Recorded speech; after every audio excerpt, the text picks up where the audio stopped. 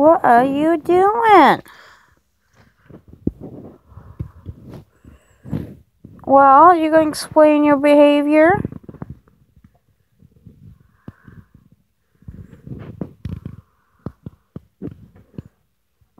Why are you facing the wall?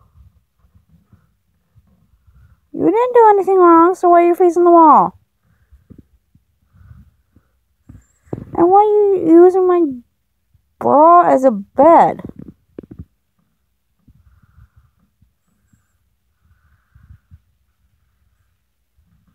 Hey. You and gray.